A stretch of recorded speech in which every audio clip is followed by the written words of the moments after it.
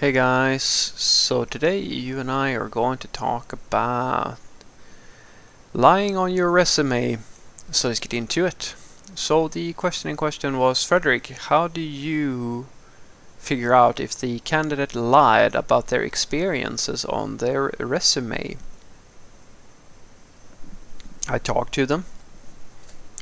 Uh, usually I don't check the resume before I talk to a candidate because I don't need to.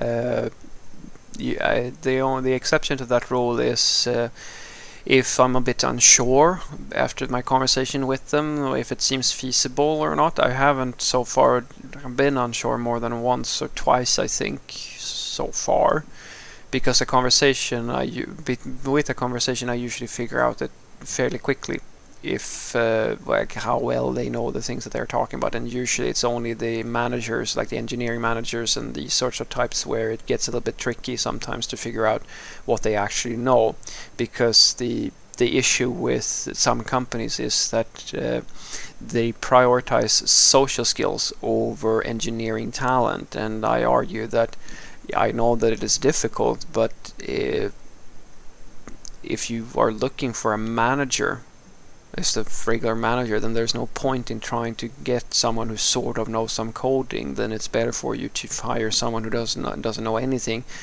but is a very social. Like you go full on the social part. But the ideal case is that you have prior software developers who really actually understand modern day, day development processes and have decided to move into a more social role or like a more management type of role. But when it comes to regular software developers, it's easy usually. Uh, because like I argue that a the the basis basics of an effective hiring process for software developers is that you first and foremost present a code test of some sort that gives the candidate enough uh, like they they do enough development so that you get a good sample going so you can sort of figure out what they know and what they don't know and then when you have done that you do a personal interview with someone who is a professional grade software developer. And I am uh, I fall into that bucket which means that when I talk to another programmer I, I can hear if they know what they're talking about.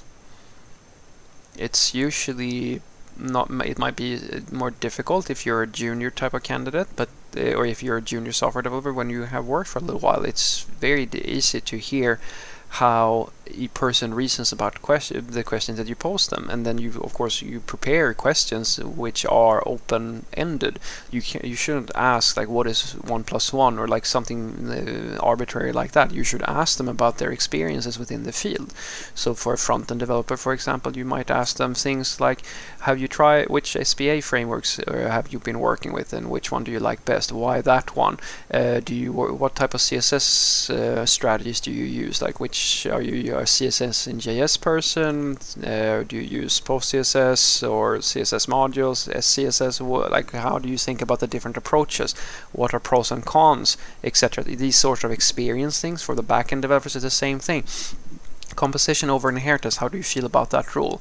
The MVC pattern, how do you usually make sure that you separate your different layers in uh, uh, how do you which sort which backend language do you prefer and why that one do you prefer to well like how do you do caching? How do you do testing? Like your testing pyramid strategy how do you usually distribute your test? When is an integration test a better a better choice than a unit test. And if you have to like uh, what type of mocking strategy do you use? Like when do you mock or do you run things against a live database when you do integration tests etc etc these sorts of questions there is no way a person who doesn't actually know what they're talking about or someone who lies on their CV about how experienced they are is going to be able to to fool someone who is experienced. The closest thing to a lie that they can get away with is when they follow my tried and true tip, which is lie 20% lying 20% is usually where I what I mean by that is basically if you want to be a DevOps person and you're a software developer and you sort of know how things work,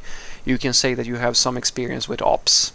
And now the question is, is the person who's interviewing you actually, do they know what it means to be a DevOps person? Can they ask you concrete questions about how to do that job? And if they can, they're going to figure out just quote unquote how experienced you are within this area, which is sort of what I was referring to. When it comes to managers, it's the same sort of deal where usually managers are more fluffy and high level and uh, the thing that they all do which is I think uh, is sort of interesting and that's why I uh, my secret weapon is to do a very similar sort of thing I do with the software developers because when you ask a manager something fluffy like what are your experience with leading a team? because you think that that is the thing that matters when it comes to management it is not. What matters is that you have a sociable person who understands how who has emotional intelligence and the knowledge and experience of how to run an IT company or how an IT company is uh, uh, how you how you actually effectively do things in IT.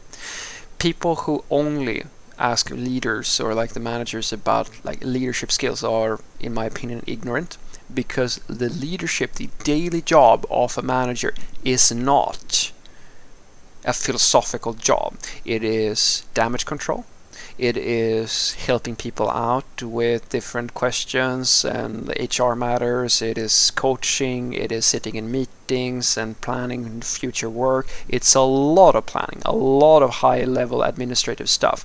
And no one will be able to do that better than someone who really, really knows what it means to effectively deliver on things. Inefficiency at the management level is the number one killer of companies.